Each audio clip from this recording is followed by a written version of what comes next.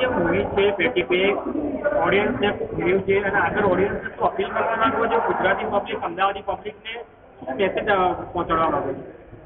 Pack એક family entertainer છે. અને એવા સમય રિલીઝ છે જ્યારે બીજી દિગ્ગજ સાઉથ ઇન્ડિયન ફિલ્મ્સ આવી હોય, જે પ્રચંડ લોકપ્રિયતા મેળવી ચૂકી હોય બોક્સ ઓફિસ પર. સાથે બોલિવૂડની ફિલ્મ્સ પણ હોય, જેમ કે, આરઆરઆર છે, કેજીએફ છે, જર્સી છે, હજી હીરોપંતી છે, પછી પેલી રનવે આવશે. આ બધાની વચ્ચે ગુજરાતી ફિલ્મ પોતાના કન્ટેન્ટના જોરે પોતાની વાર્તાના જોરે એની રજૂઆતના જોરે એ પોતાનો માર્ગ શોધી રહી છે. અને એને માર્ગ ત્યારે જ મળશે, એ જે ડિઝર્વ કરે છે ત્યારે જ મળશે જ્યારે ગુજરાતી દર્શકો, જે ગુજરાતી ફિલ્મ જોવા ટેવાયેલા છે, જેમને ગુજરાતી ફિલ્મ્સમાં કોમેડી માણવી ગમે છે, જેમને ડ્રામેટિક રજૂઆત ગમે છે, જેમને ફેમિલી એન્ટરટેનમેન્ટ ગમે છે, પરિવારની વાર્તા ગમે છે, સંબંધોની વાર્તા ગમે છે, તો એક આ રોમેન્ટિક કોમેડી પેટી પેક નામની ફિલ્મ રજૂ થઈ છે, જેમાં એક એવા હીરોની સ્ટોરી છે કે જે હીરો હીરો છે નહીં પાછો, એ પાછો સતત પ્રયોગો કરતો રહે છે, સતત શંકા કરતો રહે છે પોતાના જીવન સાથી ઉપર. અને એને એમ જ થયા કરે છે કે મને આજે જીવન સાથી મળ્યો છે, એનો પાસ એટલે છોકરીનો ભૂતકાળ, એ એને સતાવ્યા કરે છે. અને એમાંથી એ ગઢમથલમાંથી કેવી રીતે બહાર નીકળે છે, એના પપ્પાની સાથે, એના મમ્મીની સાથે, એના મિત્રોની સાથેની એની જર્ની એ આ બહુ સુંદર રીતે ફિલ્મમાં રજૂ કરવામાં આવી છે. અત્યાર સુધીનો અમારો અનુભવ એવો છે કે ગુજરાતી દર્શકો જેટલા પણ લોકોએ જોઈ છે, એ બધા પેટ પકડીને હસ્યા પણ છે અને જ્યાં ઇમોશનલ થવાનું હોય ત્યાં ઇમોશનલ પણ થયા છે અને એમને બહાર નીકળીને એક સારી ફિલ્મ જોવાનો આનંદ મળ્યો છે. તો બીજા દર્શકોને અપીલ છે કે એમના અનુભવને આધારે એ પણ આ ફિલ્મ જોવા માટે જાય. પેટી પેક મારી સાથે છે મોનલ ગજ્જર, મનોજ જોશી અને આ ફિલ્મમાં પહેલીવાર ગુજરાતીમાં સ્મિતા જયકર જેવા દિગ્ગજ અભિનેત્રી જોવા મળ્યા છે, જે કાવ્યાના, એટલે કે મોનલના દાદીના રોલમાં છે. મનોજભાઈ મારા ફાધરનો રોલ પ્લે કર્યો છે. મારી સાથે હેમાંગ છે. જે અદ્ભુત કોમિક ટાઈમિંગના બેતાજ બાદશાહ છે અને હેમાંગે મારા મિત્રની ભૂમિકા ભજવી છે. તો આવા સારા સારા કલાકારો જેમની પાસેથી મને ઘણું શીખવા મળ્યું. એવા કલાકારોની વચ્ચે રહીને મને આ ફિલ્મના શૂટિંગમાં, આ ફિલ્મ માત્ર તેર જ દિવસમાં શૂટ થઈ છે. એટલે બહુ જ ઓછા સમયગાળામાં શૂટ થયેલી ફિલ્મ. કોરોના પહેલા શૂટ થયેલી હતી અને કોરોનાના લોકડાઉન દરમિયાન એનું એડિટ થયું સેન્સર થયું અને ફાઇનલી હવે આટલા લાંબા સમય પછી રિલીઝ થઈ છે.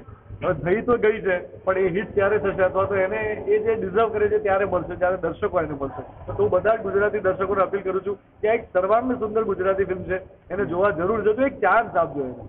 આ ફિલ્મનો જે મુદ્દે ઉદ્દેશ્ય છે તમે કરંટ સમયમાં પણ જોયું હશે, આજના યુગલમાં એક પ્રશ્ન રહ્યો છે પેટી પેક જે ઉદ્દેશ્ય તમે મૂવીમાં પણ બતાવ્યો છે. અને આજના યુગલોને શું અપીલ કરવા, શું સંદેશ પહોંચાડવા માંગો છો આપ તો આપણે જાણીએ તો છીએ કે પ્રેમ વર્તમાનમાં હોય, ભૂતકાળને વર્તમાન પર હાવી નહીં થવા દેવાનો, નહીં તો તમારું ભવિષ્ય બગડી જાય. મોટાભાગના લોકો પાસ્ટમાં જ જીવતા હોય અને એને કારણે પ્રેઝન્ટ બગડતું હોય.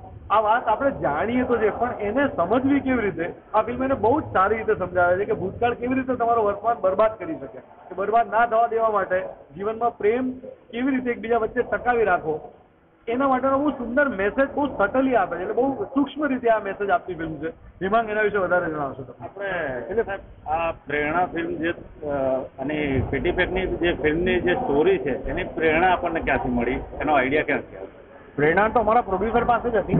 હા એટલે આપણા આસપાસ એટલા બધા એવા કપલ જોવા મળે કે જેમને નાની નાની સમસ્યાઓ લગ્ન જીવનમાં નડતી હોય. અને મોટાભાગના લોકોને કોમ્યુનિકેશન પ્રોબ્લેમ હોય. એને કારણે જે ઝઘડા થાય બહુ મોટું સ્વરૂપ હાંસલ કરી લે અને છૂટા પડી જતા. એવા કિસ્સાઓ છે કે લગ્ન થયા થોડા સમયમાં છૂટા પડી જાય. વાત કારણ સાવ નથી હોય. સમાજમાં એક સારો સંદેશ સમાજમાં એક સુંદર મેસેજ એના માટે નૈનેશભાઈ અને પ્રોડ્યુસર નૈનેશભાઈ અને કિરણ દેવમણી અમારા ડાયરેક્ટર એ લોકોના આ આખા સંયુક્ત પ્રયાસથી વાર્તા આવી. એમણે મને અપ્રોચ કર્યો બીજા બધા કલાકારોને અપ્રોચ કર્યો. અને સરસ રીતે આ ફિલ્મ રજૂ થઈ છે હવે. હવે જોઈએ કે ઓડિયન્સ તેને કેવી રીતે વધારે ઓડિયન્સ એક સારા ફિલ્મમાં તમને સારા મિત્રનો રોલ કર્યો છે. આજના સમયમાં સારો મિત્ર મળવો પણ એક બહુ મુશ્કેલી વાત છે. અને એ શું કહેવા માંગો છો આજની જનરેશન હવે મિત્ર કેવું જોઈએ તો આ જ કહી શકે મિત્ર કેવો જોઈએ તો.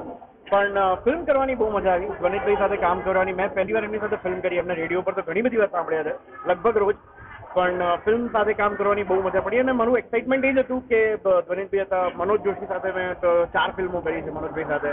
મોનલ સાથે મેં કરેલી છે ફિલ્મો but I was working with him for the first time તો એક એક્સાઇટમેન્ટ હતું અને ફિલ્મનું વિષય વસ્તુ બહુ સરસ છે.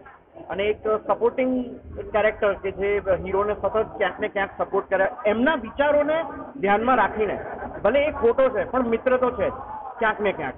તો એ ધ્યાનમાં રાખીને પણ એને મદદ કરે છે. તો મને એ કેરેક્ટર કરવાની બહુ મજા પડી. નરેશભાઈ છેલ્લો પ્રશ્ન તમે તમારા રેડિયોના પ્રોગ્રામમાં દરેક ફિલ્મને એક રિવ્યુ આપતા હોય છે દરેક ફિલ્મને એક સ્ટાર આપતા હોય આજે આજે ધ્વનિ એ પોતાની ફિલ્મને કેટલા સ્ટાર આપતા તો મેં જયારે ડબ કર્યું ત્યારે મને એવું લાગતું હતું કે આ ફિલ્મને ત્રણ આરામથી મળે આઉટ ઓફ ફાઈવ ત્રણ મિર્ચી. પણ મને મારી અપેક્ષાથી કંઈક જુદું જ થયું છે. જયારે ફિલ્મ રિલીઝ થઈ જાય ને અને હું ઓડિયન્સ સાથે એને જોઈ રહ્યો છું તો હું ઓડિયન્સ એવું પૂછું કે ત્રણ આપીશું? તો ઓડિયન્સ કહે ના હું સાડા ત્રણ આવીશું કે ના, કે ચાર જ આપવા જોઈએ એમને એટલે જ્યારે ઓડિયન્સ સામેથી એવું કયા કરતો હોય, મને મનમાં સંશય હતો. મને એવું હતું કે ઠીક છે ઓકે બની પણ જ્યારે એકચ્યુઅલી સિનેમાના પડદે જોઈને ઓડિયન્સની સાથે, ત્યારે એનું સમીકરણ જ આખું બદલાઈ ગયું છે. મને આવી ધારણા નહોતી કે આટલી સરસ રીતે કનેક્ટ કરશે. વાળ વગરના હીરોને લોકો પસંદ કરશે. આવી કલ્પના મને નહોતી. તો આવ્યા. મને કેવું વિચારવું મનમાં આવ્યું? મેં આ ફિલ્મ એટલા માટે પસંદ કરી હતી કારણ કે આ ફિલ્મનું જે મુખ્ય પાત્ર છે અભિમન્યુ જે હું નિભાવી રહ્યો છું એ બિલકુલ હીરો મટીરિયલ નથી. પહેલેથી છેલ્લા સીનમાં તમે ધ્યાનથી જોશો તો એમાં હિરોઇઝમ જેવું કંઈ છે જ નહીં. જે આપણી જનરલી હીરો વિશેની એક કલ્પના હોય છે ને એ જરા હીરો છે જ નહીં. એ હવે બધા સસ્પેન્સ હું રિવીલ નહીં કરી શકું કે કેમ હીરો નથી. પણ તમે એક એક સીનમાં ધ્યાનથી જુઓ તો એ દંભિત છે. એ હિપોક્રિટ છે એક નંબરનો. અને એક સમયે તમને એમ થઈ જાય ઓડિયન્સ તરીકે કે આ છોકરાને છોકરી ના જ મળવી જોઈએ. આવો છોકરો એમ. તો બસ જ્યારે ઓડિયન્સને એવું કનેક્શન વાર્તા સાથે થઈ જાય એ મને એવું હતું કે આ વાર્તા કંઈક જુદા પ્રકારની છે અને આ વાર્તા જો ઓડિયન્સ સાથે કનેક્ટ થઈ ગઈ તો આ સફળ છે. એ ધારીને મેં ફિલ્મ લઈને આવી રહ્યા છો? ગુજરાતી ફિલ્મ ઇન્ડસ્ટ્રી હું એક પણ ફિલ્મ આના પછી કરવાનો નથી એવું મેં અધિકૃત રીતે કહ્યું છે. ઘણી બધી વાર ભૂતકાળમાં ફરી એકવાર કહી રહ્યો છું. પરંતુ સાથે ડિસ્ક્લેમર એ પણ છે કે કદાચ એવું બને એક ભાઈ જેમ કે હિમાંગ છે. હિમાંગ મને કે ધ્વનિભાઈ આ એક ફિલ્મ છે આમાં હું આ કામ કરું છું ભલે બે મિનિટનો રોલ છે પણ આ તમારે જ કરવાનો છે કારણ કે તમારા માટેનો રોલ તો કરી લઈશું. બાકી હીરો તરીકે મારા મનમાં એ બહુ જેમ રેડિયોમાં જોડ દીધો છે એ હું ફિલ્મો પણ નથી જ કરવાનો.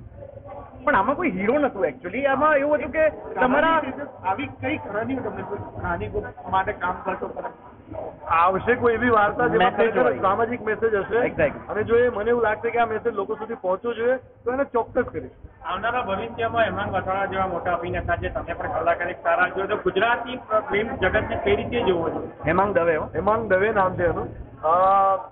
ગુજરાતી ફિલ્મ જગતને હું પહેલેથી એ રીતે જોઉં છું કે છેલ્લા લગભગ એમ ગણો કે સાત વર્ષમાં જે પ્રયોગો થયા છે ને વાર્તા અને વિષય વસ્તુમાં એ બહુ અદ્ભુત પ્રયોગો થયા છે. તમે એકચ્યુઅલી આનું ને ધ્યાન કોનું પડતું નથી આનું? ઉપર ગુજરાતી ફિલ્મો એ બીબાઢાળ બની જ નથી રહી. ગુજરાતી ફિલ્મો એ સતત પ્રયોગ વાળી ફિલ્મો બની રહી છે. કોઈ પણ ફિલ્મ તમે લઈ લેશો એમાં કંઈક પ્રયોગ હશે. એ રેગ્યુલર ફિલ્મ નથી હોતી. રેગ્યુલર હોય તો એ બે દિવસમાં ઉતરી જાય. પણ પ્રયોગવાળી ફિલ્મો હોય છે તો એ એક વીક બે વીક ત્રણ વીક ચાર વીક અથવા તો પછી ઓટીટી પ્લેટફોર્મ પર એ ચાલતી હોય એટલે ગુજરાતી ફિલ્મોની રજૂઆત વિશે હું બહુ જ આશાન્વિત છું. મને બહુ હોપ છે કે આવનારા સમયમાં એવી વાર્તાઓ રજૂ થાય કે જે મનોરંજનની સાથે સાથે કંઈક જે જોનાર વ્યક્તિ છે, દર્શક જે છે, એને કંઈક એવું આપે જેનાથી એનું જીવન વધારે સારું થાય. મતલબ એક લેવલ અપ છે. ખાલી એન્ટરટેનમેન્ટ તો બરાબર છે. લાર્જર દેન લાઈફ એન્ટરટેનમેન્ટ તો આપણે બહુ બધી જગ્યાથી મળે.